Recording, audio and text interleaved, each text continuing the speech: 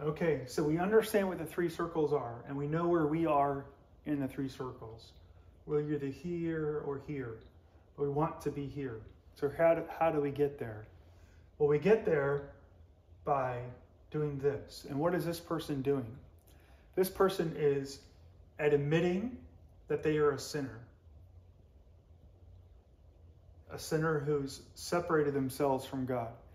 I have ownership of my own sin.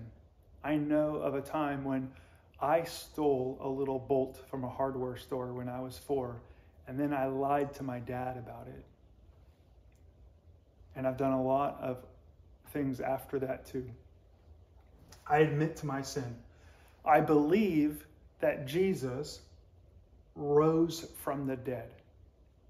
What a wonderful, wonderful thing. And then I confess Jesus as my boss or my king or my Lord. And I think that's it. It's telling God that in a, in a prayer. So let's practice that right now.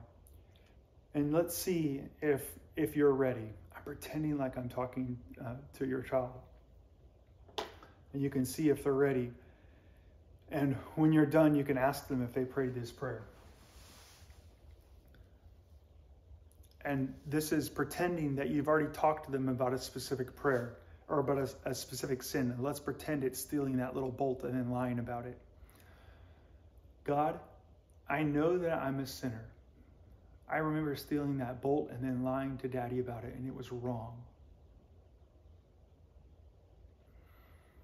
Jesus, I know that you rose from the dead. Jesus, I want you to be my boss. Please save me. Amen. So parents, I would encourage you if you're not if your child is ready and they say they want to make Jesus their boss and they they admit that they're a sinner, um, they have a specific example of that sin, and they believe that Jesus rose from the dead, then you could just pray that prayer with them and ask them to pray with you either out loud or they can pray to themselves and then pray it with them if, they, if you need to. And then when you're done, you just say, Did you pray that prayer with me? And if they say no, maybe they, they were confused or you say why. And if it was some thing that they don't understand or something maybe they don't believe yet, then give them time and talk about it and help them and and don't be in a rush.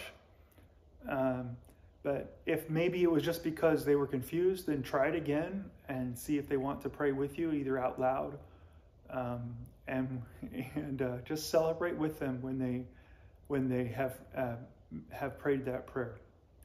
And I think that's all you have to do for your child to be ready to be baptized. Is you're sure that they're saved, and we want you to be sure by you going through and helping them, helping your child to be saved.